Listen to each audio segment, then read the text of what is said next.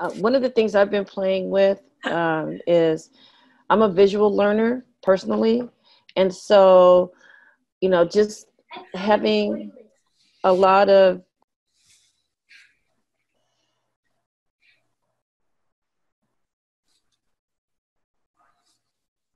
That's me.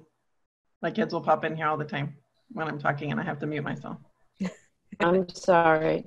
Uh, my grandson is up here. Um, and so, as a visual learner, uh, and one of the things I found with a lot of my students was that just putting the content, we were talking about content in our group, um, it, it just wasn't enough to engage them. Mm. And so, one of the things Katie's been helping me with is um, we've been, uh, what is that, Adobe Spark to learn how to make banners and things like that so that things would be more attractive. And I know there's still more that I have to learn about, um, you know, the, the accessibility piece, right? Making sure that, you know, the accessibility uh, readers and things like that uh, don't get blocked. So I'm still working with that. So let me just share um, my screen with you and I'm going to show you two discussion board pieces that I put together okay. that um, were kind of colorful and I just learning how to just drop in the pictures and make it simple, but what I think is kind of a little bit attractive. Um, hold on just a minute. Let me just share my screen. Oh, here it is right here.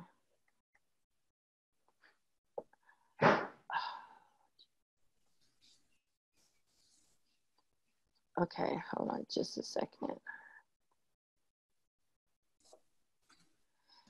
Um, and so another thing that Katie's working with me on is with the Castamatic and the overlay, because as someone who really likes to, um, I really enjoy when I teach putting up a lot of pictures on the whiteboards and things like that. So I have a lot of pictures of things that are already done that really just need some overlay, but you know, using the stylus and things like that. So I'm learning how to take and do that better.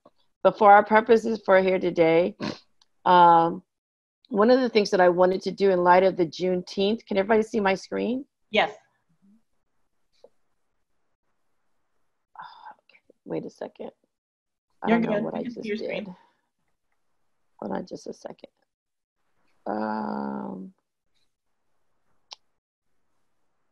I think I just screwed up. What happened? I had it here. Hold on. Everybody. We are seeing your Canvas discussions. Oh, there it was. Okay, can you see my screen? Yep. Yeah. Yes? Okay. So one of the things I wanted, um, especially right now, the let me move my thing right here, is the with the whole Black Lives Matter movement that's really taken off, is to do something around Juneteenth. So one of the things that I added was a Juneteenth um, discussion board prompt. So I kept that pretty simple. And one of the things that I didn't know that I learned was that there's actually a Juneteenth flag. Mm. And so um, I wanted to incorporate that in there, and, and I and I made not necessarily letter, but it's kind of like a letter. So I'll just open it up here, and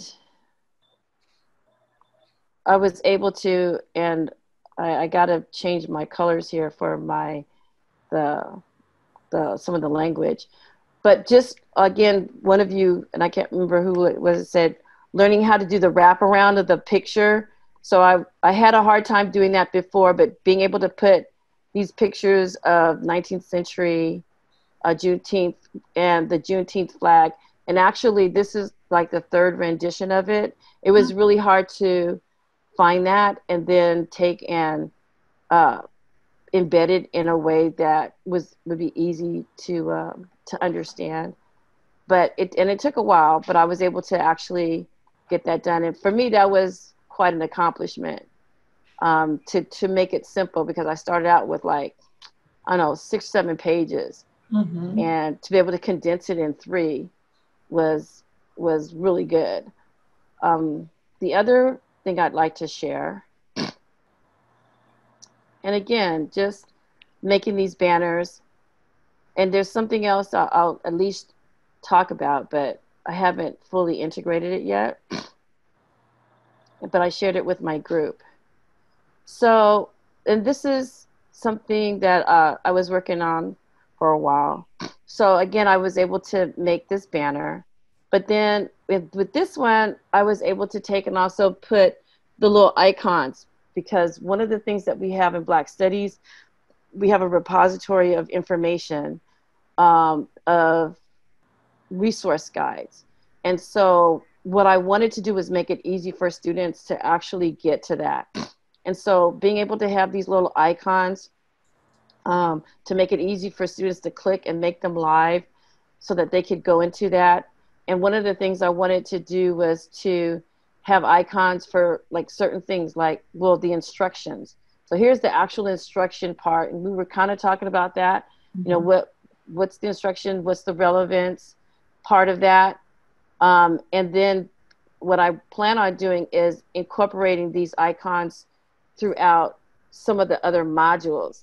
So I think that would make it easier. And one of the one of the things that I learned earlier in one of our latter show and tells was the importance of having some consistency. And so I saw how that might be really easy and a good way to train my students to look for these these things when they're trying to navigate through the module itself.